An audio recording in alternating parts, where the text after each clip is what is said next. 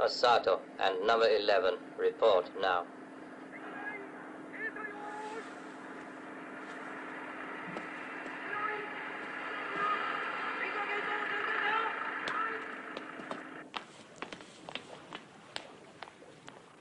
An unknown Englishman was in your office the other day. Correct, number one.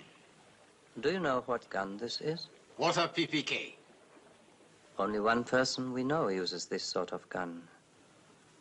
James Bond. But Bond is dead. It was in all the newspapers. Rubbish.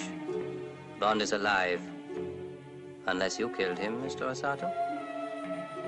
Don't tell me you let him go. I gave number 11 the strictest orders to eliminate him. And did she?